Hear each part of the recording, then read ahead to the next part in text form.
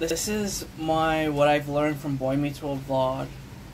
This show is one of the greatest sitcoms of all time. I've learned so many life lessons, more than anything I've learned in school, work, internship. And it will always be engraved in my brain, these life lessons. But here are some of them. You're gonna learn something from it every day. Yeah. You're gonna make mistakes. You're gonna make good friends. and just desire to succeed in this cold, cruel world. Because then you simply become a part of it. You must also have the desire to change it.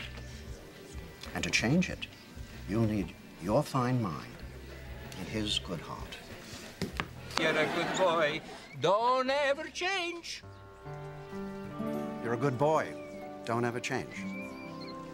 Yeah, Mr. Feeney gave the best life lessons. I always learned from him. They gave him the best lines, the writers. They talked about friendship, marriage, underage drinking, all that stuff. So yeah, Boy Meets World is a show you gotta check out. Every age watches this show. That's what I like about it. And this quote from Mr. Feeney always stays with me. So here it is. Believe in yourselves. Dream. Try.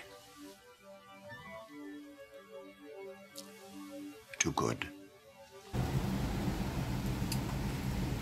And this last one from Eric Matthews. This is the funniest. This gets me every time.